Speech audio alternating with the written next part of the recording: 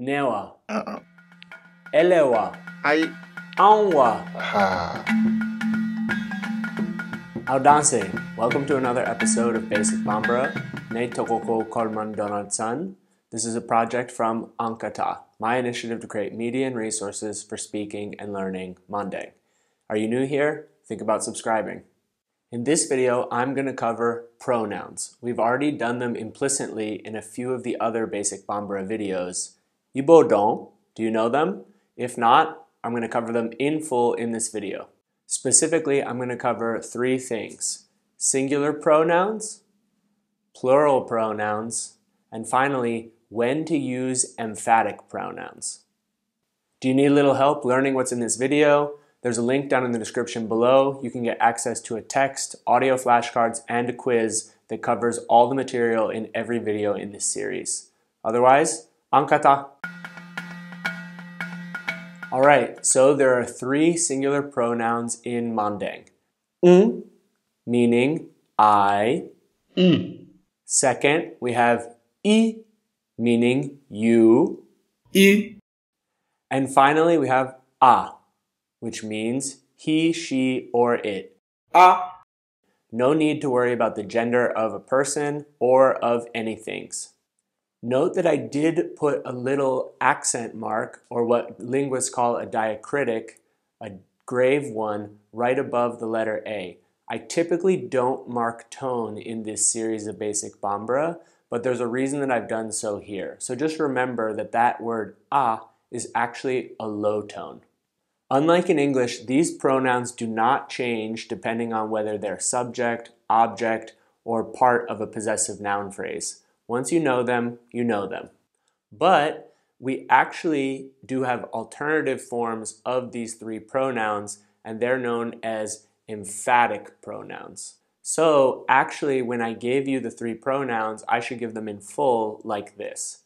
Un, ne, meaning I, un, ne.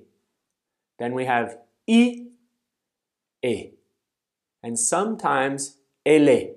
That's particularly popular with Jula speakers. I, e, ele. And then finally we have a, ale, which means he, she, and it. A, ale.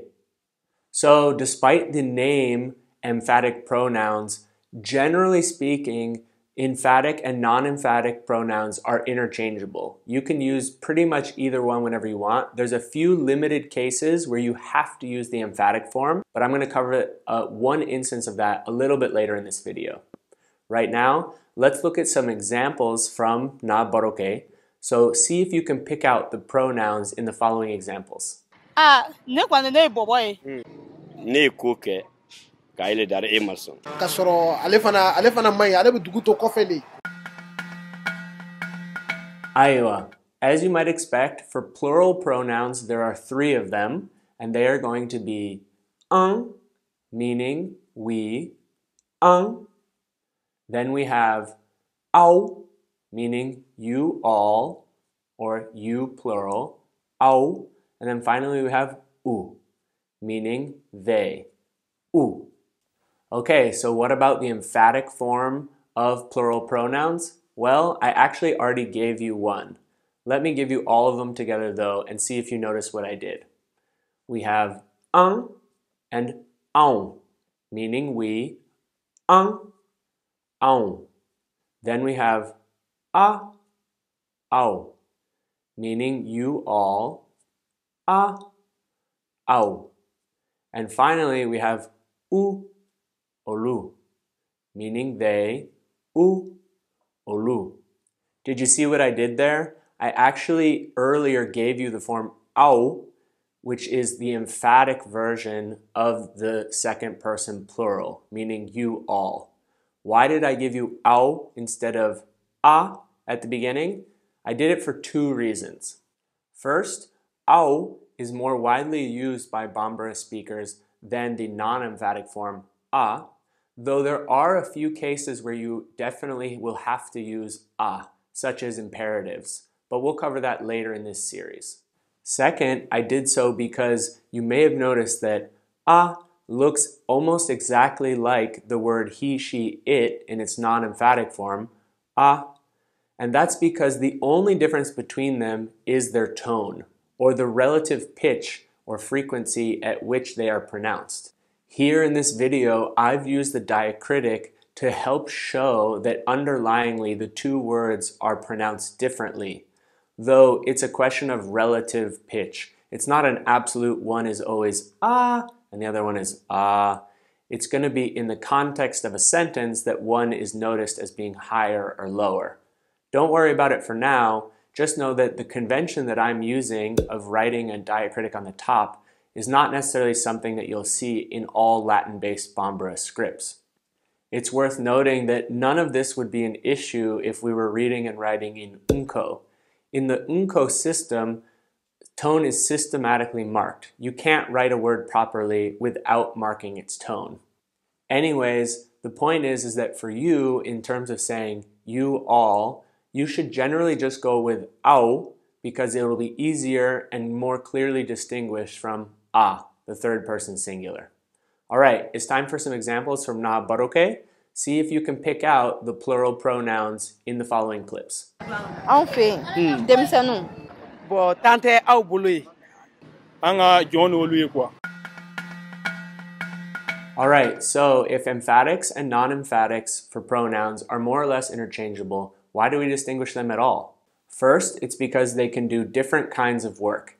Emphatic pronouns allow you to draw attention to a particular pronoun in a sentence. For instance, neye ifaye, meaning I am your father. But notice how we used ne instead of un. Neye ifaye potentially draws attention to the fact that you're saying something like, I am your father, as opposed to, I'm your father. Second, there are some grammatical constructions that will require that you use an emphatic form. Of course, if you used a non emphatic form, people would understand you, but you're going to sound less natural. Let me give you two examples so you can get an idea of what I mean. Emphatic forms are generally required when we're using presentative sentences. So imagine that you are looking for your favorite hat, fugulan, and your friend is helping you out. They hold up a hat thinking it's the right one, but in fact it's not. In that case, you would respond to them, alete, that's not it. And in that case, you would not be able to say ate, you want to say alete. Another example is when we give a pronoun following the word ani, which means and, or more literally, it and. It's frequently used in list situations when we're providing a few nouns at a time. So imagine, for instance, that you're on a trip with your friend Musa. You're, you call another friend on the phone and you say something like, Ne ani ale be Sikasso. Him and I are in Sikasso. But because we've used ani, we need to say ale as opposed to a. Ne ani ale be Sikasso. There's definitely other situations in which native speakers will more naturally use emphatic forms. My advice to you, though, is not to get too caught up in trying to figure out any of the rules. It's something that you'll learn implicitly just by talking and listening. Iowa, that's all the standard pronouns of Bambara and Jula. Did you like this video? Do you wish there were more videos to learn African languages? Think about becoming a patron or throwing me a tip. There's a link down in the description below. Iowa, ni alagawati were irana kambe.